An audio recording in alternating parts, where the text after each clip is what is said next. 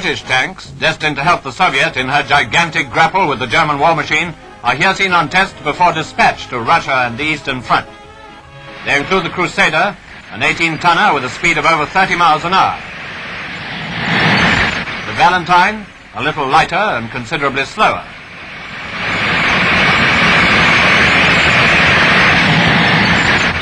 The Covenanter, 17 tons with a speed of 40 miles an hour.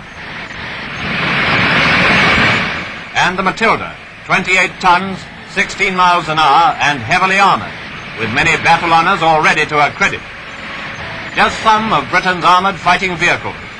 Others are on the secret list, of course, but the Soviet has been able to make her choice, and Britain is continuing to supply her with what she asks.